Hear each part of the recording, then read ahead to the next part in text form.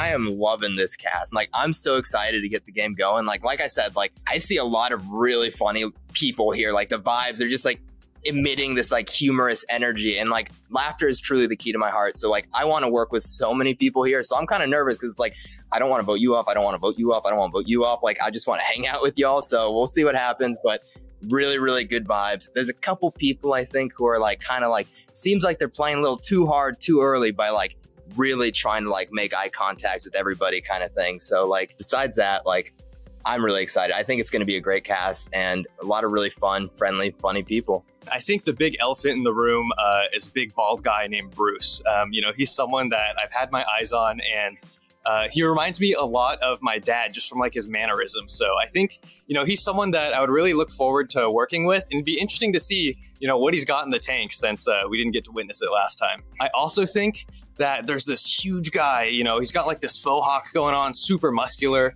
Um, I've been calling him Tank in my head because that's just like the vibe that he gives me.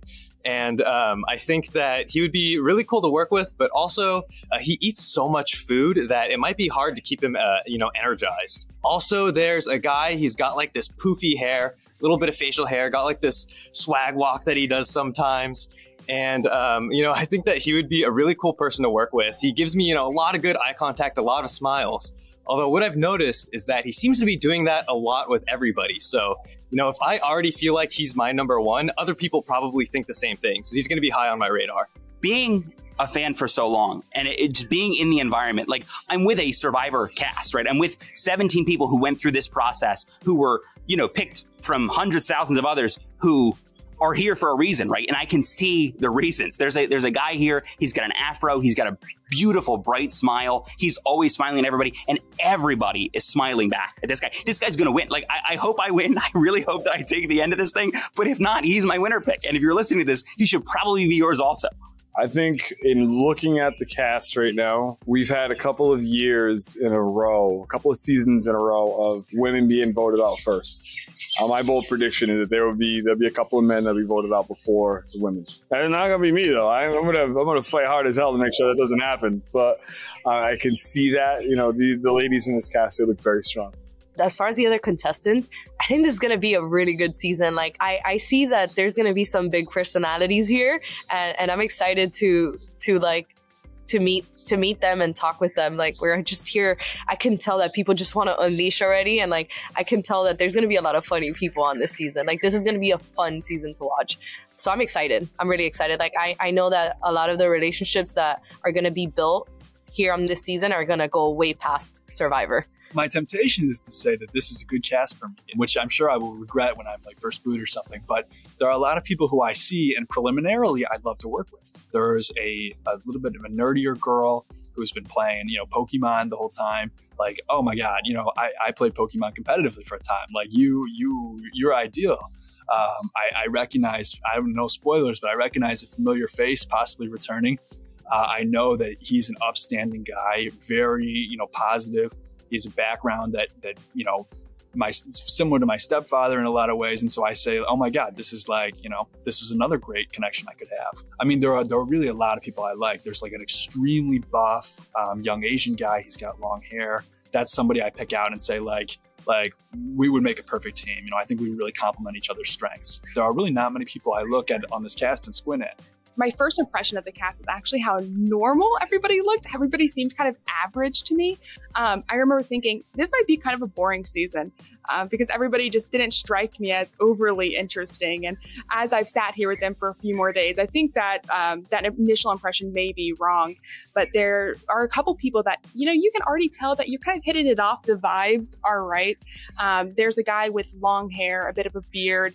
Um, I think he wears glasses, and I just feel like on some maybe nerd level, we connect. Now, I feel bad saying that. I have no idea if he's a nerd or not. Um, so he probably get out here and he may be some sports superstar and have no idea what I'm talking about. But I, I have that connection with him automatically. And, um, you know, there's a girl who is reading the same books that I'm reading. Um, she has platinum blonde hair and um, seems super smart and funny. And, you know, I'm connecting with, with those people. There's a girl who's walking around in Crocs. And anybody who walks around in Crocs we're already on great terms. Like purple jumpsuit, Crocs. I'm like, I'm sold, right? Like that's great. But at the same time, there are people who are they're already too much for me. Now, I said it before, I'm an irritable person and I can be a lot.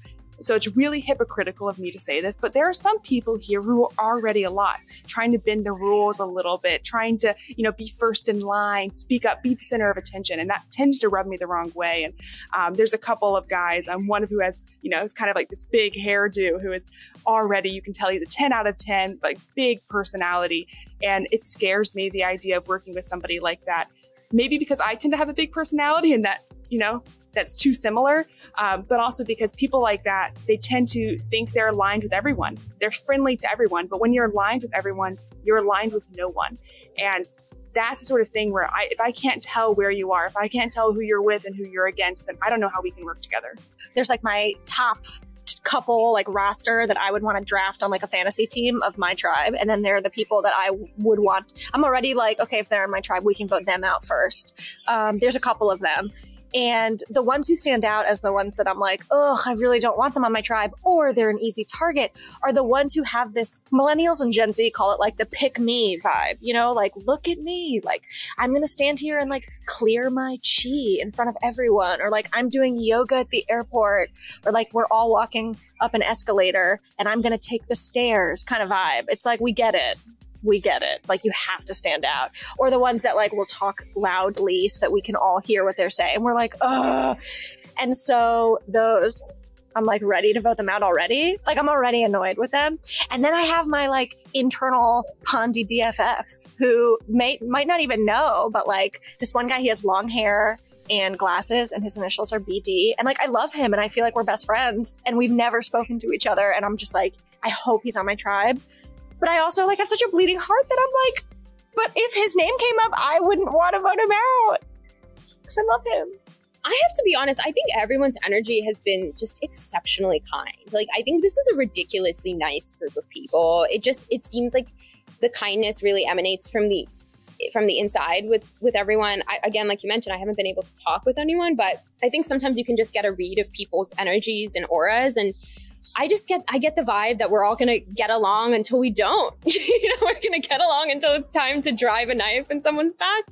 But I will say off the bat, I think I was so stoked coming into pregame to see just so many like powerful women. Like I'm just I'm excited. I think some of my favorite alliances in survivor history are alliances of powerful women. I think it would be so cool to be a, a, part of one in my own survivor journey. And I think I see some some awesome contenders here for that. And and I just have to say, like everyone has been has been just so nice and and you know also um I think there's there's a familiar face in our in our crew that's that's no surprise. And I love his story. I would love to work with him. Um, we'll see how it pans out. But I think on, on the whole, I'm just stoked. I'm excited. And this seems like a really great crew. And I, I hope it's a great season. We'll see. I'm looking at some people. I don't mean to stereotype, but I'm kind of like, you're smart, aren't you?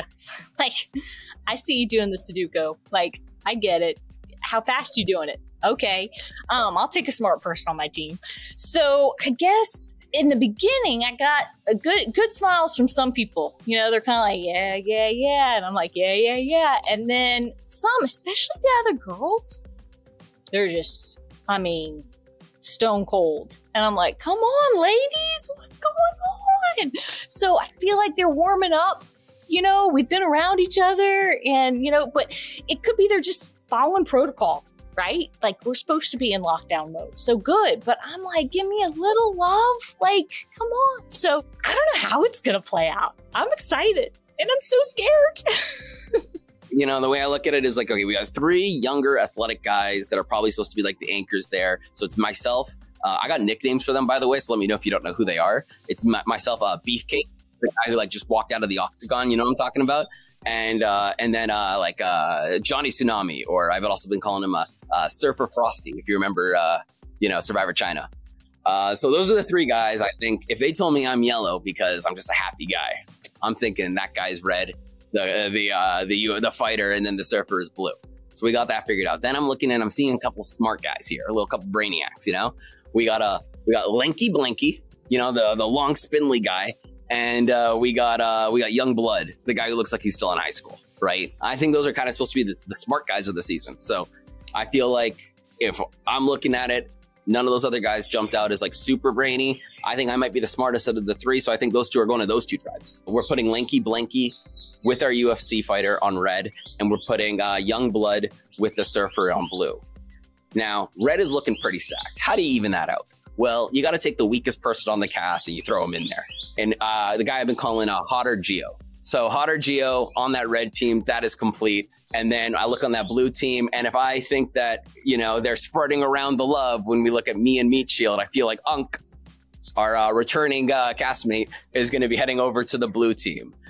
Who does that leave me with? It's me, Wayne's World, and uh, I've been calling him my husband. Hopefully, my island husband, kind of Jesse and Dwight 2.0. You know, that's how I think. So I've been sending vibes to those two guys as much as I can. Right In terms of the girls, a little bit less confident. Not really 100% sure how they break down, but you know, that's that's kind of my take on all of that. Fair enough. I actually have two people in mind already that I'm like, I really would love to work with. And, you know, we can't really talk to each other. So you're just kind of like, hmm, you know, hi, giving little smiles here and there. And I, I feel like I chose them because they're kind of softer energy people. Um, like they, they don't seem like they're taking up a lot of space or really loud or crazy. And I feel like they may be the type of people who could get overlooked. And that's exactly what I want an alliance partner. Like I, for my secret alliance, I want somebody who people are like, ah, that's just so and so. Like we're not too worried about them. They're not a threat. They're not a non-threat. They're just kind of there, you know. I want that person to be working with me behind the scenes the whole time that would be great. And then there's like two people who I definitely got negative energy from. Not that they did anything particular, just kind of like, mm, I'm getting stank face or I'm getting like, you know, squirmy, definitely don't trust you kind of energy. But the crazy thing is, I literally was just writing in my little journal like about each person and I wrote that about them last night. And then today, like we did an experience together and I was like, oh, huh, they might be kind of cool. So I don't know. I feel like you just, you know, you never know. Like somebody asked me that, one of the producers asked me, he was like, you know, how do you feel about this person or anybody? And I was like, oh, I don't like this person. I feel like they have this kind of energy. And then he was like, oh, just describe them to me. And I was like, no, no, I don't want to describe them. And he's like, no, just describe them. You never know you may end up being best friends with them. And then literally today, I saw this experience and I saw this person in a completely different light. And I was like, ah, okay, maybe I do like them. But, you know, I'm still reserved because, you know, you got to go with that gut instinct.